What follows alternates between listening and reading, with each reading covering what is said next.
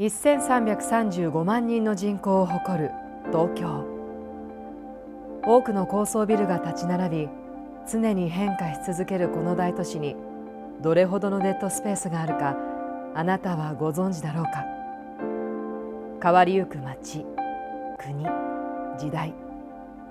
新たな時代を予感させる若者たちが一つのビルに集まり起こすムーブメント。